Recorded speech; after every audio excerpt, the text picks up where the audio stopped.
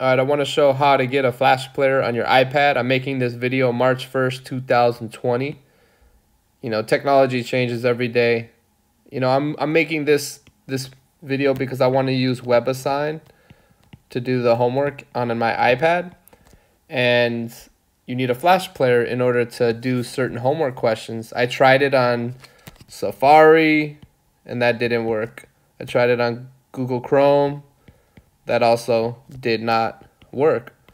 So these don't work. Safari, Google Chrome on the iPad, they don't work. You can do some questions on WebAssign with those browsers, but I had to buy, unfortunately, I had to buy this this app. I think it was actually four ninety nine.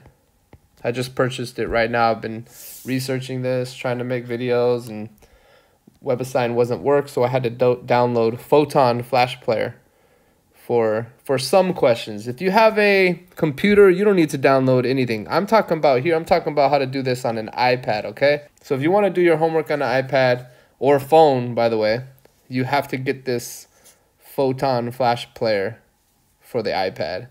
So anyways, if you look at if you pull up the the Photon browser, I don't know why it keeps asking me to sign in, but anyways, really what I wanted it to do with this is to use the graphing tool.